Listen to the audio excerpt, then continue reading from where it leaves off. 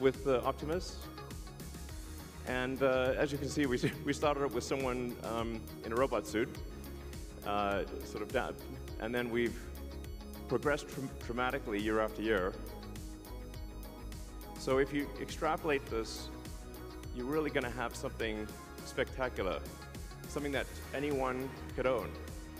Um, so you could have your own personal R2-D2 C3PO. And I think at scale, the, the, you know, this would cost something like, I don't know, $20,000, $30,000. Probably less, less than a car, is my prediction, long term. Now, you know, take us a minute to get to the long term, but, um, but fundamentally at scale, uh, the Optimus robot, you should be able to, to buy an Optimus robot for, I think, probably twenty to $30,000 long term. So, and, and, and what can it do? It can, it'll basically do anything you want. So it can um, be a teacher, babysit your kids, it can walk your dog, mow your lawn, get the groceries, just be your friend, serve drinks. Um, whatever you can think of, it will do. And yeah, it's going to be awesome.